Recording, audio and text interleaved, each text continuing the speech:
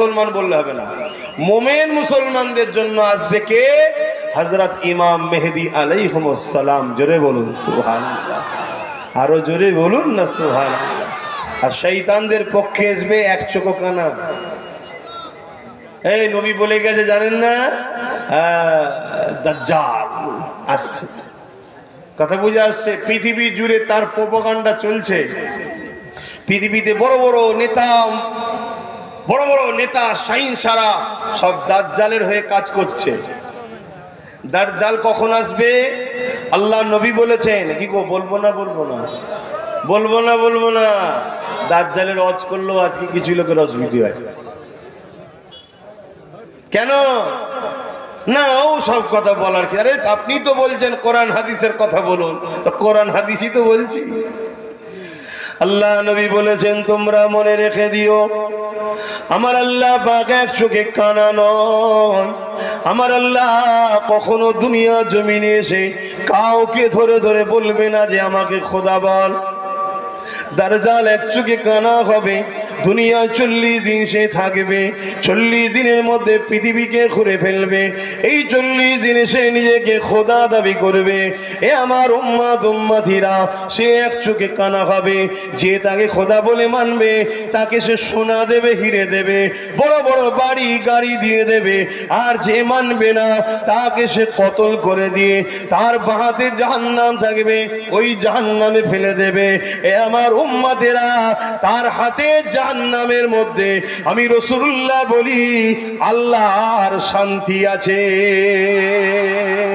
আর যে তাকে মেনে নেবে, সে তাকে সোনা দানা দেবে এবং তার ডান হাত জান্নাত আছে, তার জান্নাত ওই জান্নাতে দেবে।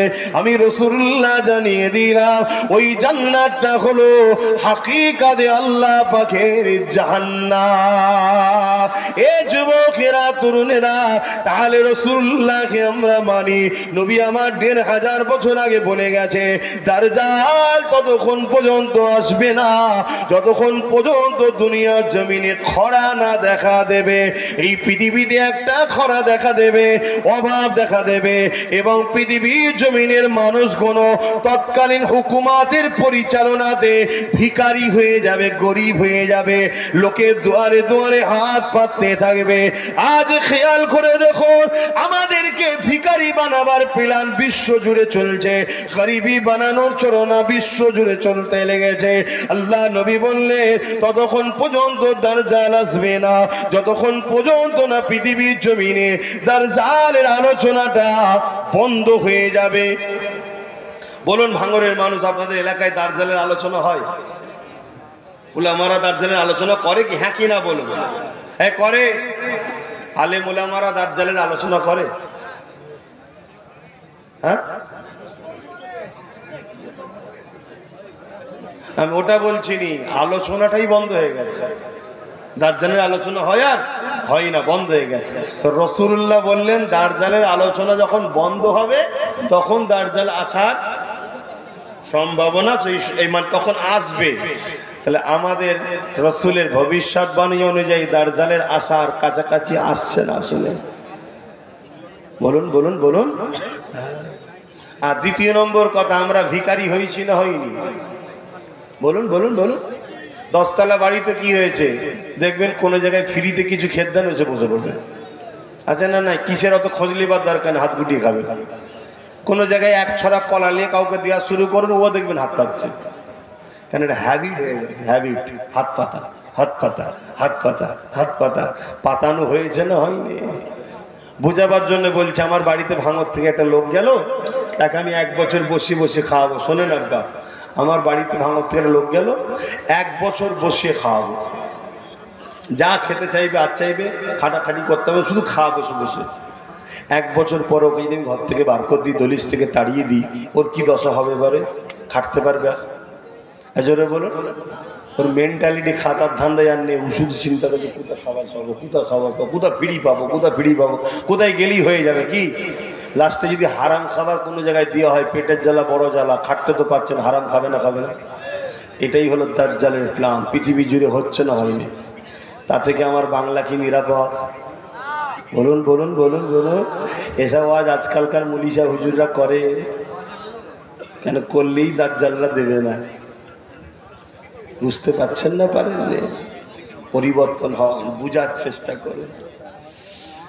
আল্লাহ নবী জানিয়ে দিলেন, দাজ্জাল আসার পর মানুষের কবর কোনো ধারে ধারে যাবে। আপনার দাদর কবর কোনটা জিজ্ঞাসা করবে? আপনি দাদুর কবরে দাজ্জালকে নিয়ে যাবেন, সে বলবে, কবরবাসী ওটো মুখে দাদু ওটো আপনার দাদু উঠে পড়বে দাজ্জাল তাকে বলবে, তুমি কি আমাকে খোদা বলে মানো? আপনার দাদু তাকে খোদা বলে মানবে। তখন একে বলতে লাগবে বলতো দেখি মরাকে কে জেন্দা করে? স্বাভাবিক, তুমি, আমি জানি, মরাকে যিনি জেন্দা করে তিনি কে? আরও জোরে, কে? তখন দাজ্জাল বলবে, দেখ, তোর দাদু কবে মরেছিল? আমি জিন্দা করে দিলাম, আমাকে খোদা বলে মান, আমি তো খোদা। নেবে এসেছি, আমি খোদা। শুনছেন? ইমান আছে তো আমাদের? এগুলো শুনতে হবে না? শুনতে গেলে ধরা দিতে হবে তো। ধরা দেয়। শুধু ছুটছে তো। ফুরফুরা শরীফে যাচ্ছে, মুসাফা করছে, পালাচ্ছে। এখানে এখানে আমার দলে যেতে আবার যাই না। আমার দলে যে যাই না। কেন যাসনি রে বাবা? বলছে সিবিআই ছাড়া আছে, আইবি ছাড়া আছে। গাড়িতে একটা চর ছেড়ে দিয়েছে। কোথায় যাই দেখবি? সব জায়গায় যাই যাক আব্বাসের কাছে যেন না যাই।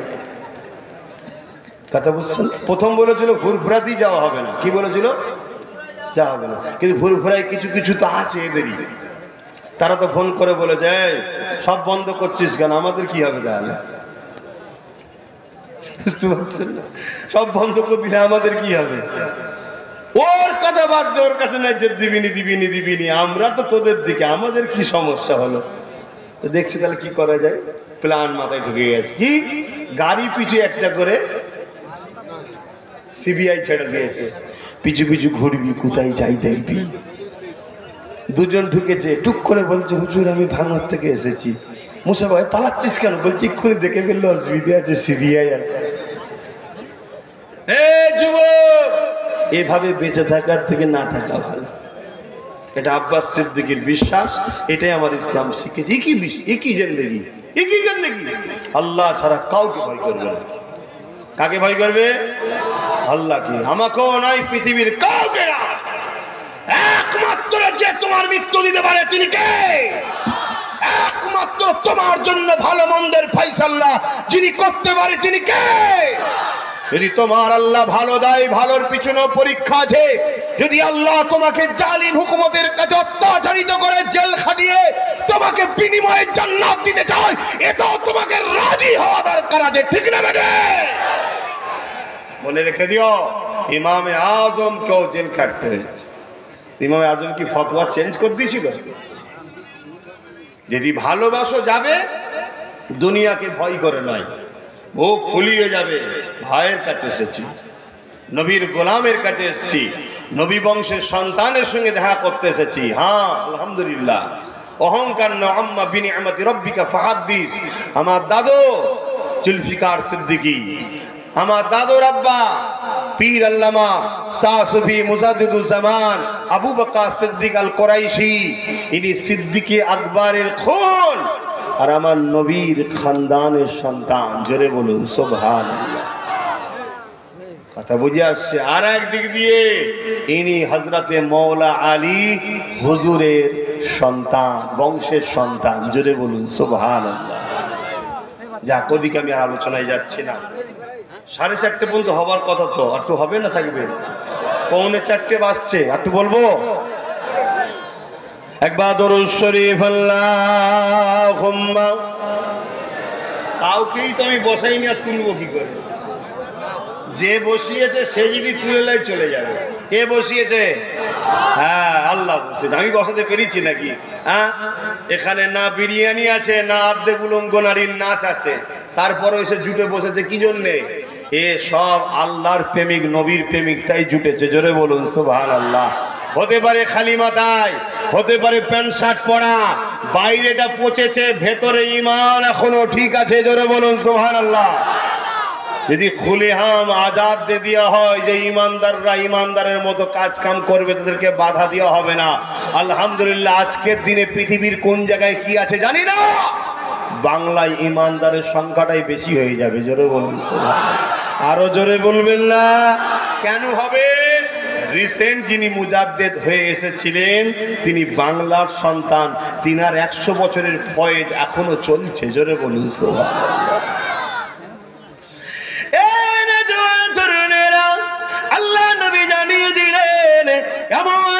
পৃথিবী জমিনে তার জান এসে মানুষকে ধোকা দিতে লাগবে। যদি কেউ তাকে খোদা বলে না মানে এমন করে তাকে কতল করে দেবে, টুকরো টুকরো করে দেবে, করে দিয়ে আবার জিন্দা করে দেবে। এই জিন্দা করার ক্ষমতাটা আল্লাহ তাকে দেবে। এ যুবকেরা এমন করে জিন্দা করে দিয়ে বলবে যে, আমাকে আল্লাহ বলে মানো, আল্লাহ রসুল বলছেন, আমার এমনও যুবক উম্মা সেই সময় থাকবে। তাদের জবান দিয়ে বেরোতে লাগবে। তুমি যদি আমাকে মেরে জিন্দা না করতে, তোমার উপরে আমার যে ধারণা ছিল তুমি কাফের। কিন্তু আজ জিন্দা করার পর আরও আমার তোমার উপরে ইমান মজবুত হয়েছে। কি ইমান মজবুত হয়েছে? আল্লাহ নবী বলেছিল, দাজ্জাল আসবে। তার কপালে লিখা দেবে কাফেরে। তুমি হলে সেই দাজ্জাল কাফে আমার নবী বলছে, আমার এমনও উন্মত থাকবে যুবকরা তখন, তারা ডাইরেক্ট বলবে যে, তোমার এই জেন্দা করাতে আমার ইমান আরও পাকা হয়ে গেল নবীর হাদিসের উপরে। তুমি হলে সেই নবীর ভবিষ্যৎবাণী।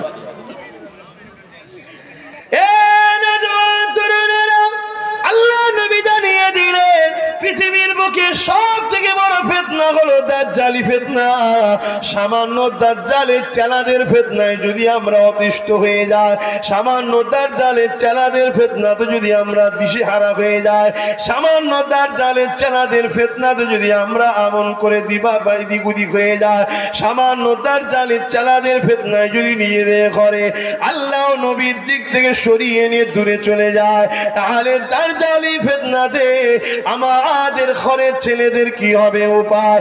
এ যুবকের এমন একটা দিন আসতে চলেছে, যে দিনে বাপগুলো নিজের মেয়েগুলোকে রক্ষা করতে পারবে না, ঘরের মধ্যে ধরে রাখতে পারবে না, তারা বাইরে বেরিয়ে যাবে, বাপ তাকে কন্ট্রোল করতে পারবে না। আল্লাহ নবী বললেন, এমন একটা দিন আসছে, ওই দিনে তোমরা মসজিদে যেতে পারবে না। আল্লাহ নবী বলছেন, এমন একটা দিন আসছে, ওই দিনে তোমরা নিজেদের ঘরে যদি বাঁচাতে চাও লোকালয় ছেড়ে দিয়ে তোমাদের ঘরে জঙ্গলের মধ্যে চলে যেতে হবে। আল্লাহ নবী বলছে, এমন একটা দিন আসছে। ওই দিনেতে সমাজের সমস্ত জায়গায় নেতৃত্ব মাথায় বসে যাবে সমাজের অশিক্ষিতরা, সমাজের মূর্খরা, সমাজে যারা বম্পট বদমাইশ, তারাই সব চলে যাবে। বাজার কোনো দায়িত্ব তাদের হয়ে যাবে শহর কোনো দায়িত্ব তাদের হাতে চলে যাবে, রাষ্ট্রের দায়িত্ব তাদের হাতে চলে যাবে। তারা সমাজের বুকে ফেতনা ছড়াবে, গুন্ডাগিরি করবে, এমন কোন সভ্যতা ছড়াবে সারাপ মদ, জুয়া, জেনা ব্যবিচারী সমাজের মধ্যে ভরে যাবে। আল্লাহ নবী জানিয়ে দিলে তখন হবে কামত একেবারে কাছে। আজকের আমার যুবকদের জিজ্ঞাসা করব, নবী পাখে হাদিসগুলো আজকে দিনে ঘটছে না ঘটেনে? জোরে বলুন, তাহলে আমাদের করণীয় কি? আল্লাহ নবী বলছে, ওই দিনে যারা এই অন্যায়গুলোর মোকাবেলা করে দাঁড়িয়ে থাকবে, ওই দাঁড়ানো অবস্থায় তারা যদি ওই লড়াইয়ে শহীদ হয়ে যায়, আমি রসুল্লাহ জানিয়ে দিই, আল্লাহ বা তাদেরকে শহীদের মর্যাদা দিয়ে দেবে। আর যদি তারা কামিয়াবি হয়ে যায়, গাজী হয়ে যায়, আল্লাহ পাক তাদেরকে জান্নাত পুরস্কার দেবে। এ বিষয় হলো এটাই এই পৃথিবীর জমিনে আজকে দিনে আমরা দেখছি নারীদের উপরে আবার নতুন করে জুলমতে লেগেছে বিভিন্ন ভাবে জুলমতে লেগেছে নারীগুলোকে আবার বিউজ্জুতি করা হতে লেগেছে। আমাদের দায়িত্ব হবে রসুলের পাকের দিন ইসলাম, যে আদর্শ আমাদেরকে শিক্ষা দিয়েছে, সেই শিক্ষাটা বাস্তব সমাজে প্রতিষ্ঠিত করা, পরিচালনা করা, সেই কোন সমাজের কাছে বেশি বেশি করে প্রচার করা। এ নওজোয়ান পৃথিবীর জমিনে যারাই হকের পক্ষে ছিল, তাদের উপরে যুগে যুগে অত্যাচার হয়েছে।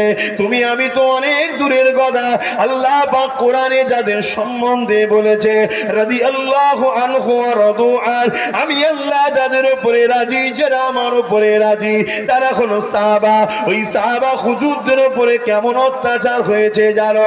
তার থেকেও বড় বিষয় জিনাকে সৃষ্টি না করলে কুল কায়নাত আল্লাহ বানাতেন না। সেই নবী পাখের উপরে কত অত্যাচার হয়েছে, দেখো। আল্লাহ নবী নাই কথা বলার জন্য, আল্লাহ নবী সত্য কথা বলার জন্য, আল্লাহ নবী মানুষের পক্ষে দাঁড়াবার জন্য, আল্লাহ নবী গরিবদের ঘরে বাঁচাবার চেষ্টা করার জন্য, গরিবের হয়ে কথা বলার জন্য। আজ থেকে হাজার বছর আগে যখন নারীগুলোকে পুঁতে দেওয়া হতো, মেরে দেওয়া হতো, ওই নারীদেরকে বাঁচাবার জন্য নবী যখন কথা বলেছিল, তখনকার ক্ষমতার আসনে যারা বসেছিল, তারা আমার নবী পাককে কেমন জুলুম করেছিল। আল্লাহ নবী যখন আল্লাহ দাসত্বে সেজদায় পড়ে যেত, তারা সঙ্গে সঙ্গে পচা দুম্বার ভুড়িগুলোকে নিয়ে আল্লাহ নবীর পিঠের উপরে চাপিয়ে দিত। আল্লাহ নবী পচা দুর্গন্ধ ভুড়িকে নিয়ে মাথা তুলতে পারতেন না। নবী আমার রব্বি রব্বি রব্বি আওয়াজ তুলতে, সুবহান রব্বিল আলা আওয়াজ তুলে সেজদায় পড়ে থাকতে। আমার নবী পাকে কলিজা টুকরি খাতুনে জান্নাত তখন ছোট ছিলে। তিনি আগিয়ে আগিয়েছে আব্বা জানের পিঠ থেকে যখন ওই দুম্বার পচা ভুড়িগুলো নামিয়ে দিতে তখন আল্লাহ নবী মাথাটা দুটাতো। এ যুবকেরা হকের পক্ষে থাকাইতে আমার নবীর ওপরে যদি চুলমতে পারে, আমার ওপরে হবে না। এ আশা করাটা তো আমার পিতা হবে, তোমাদের ওপরে হবে না। এ আশা করাটা তো পিতা হবে। তবে মনে রাখবে, তুমি নিজেকে তোমার আল্লাহর কাছে লুকাতে পারবে না। তুমি হকের পক্ষে যদি থাকো যতই জুলুম আসুক না কেন যত অত্যাচার আসুক না কেন, তুমি পাকে মজবুত করে রাখো। যদি ওই অবস্থায় তোমার মৃত্যু হয়ে যায়, কোনো চিন্তা করো না। কেননা মৃত্যুতে একদিন একদিন হবার। তবে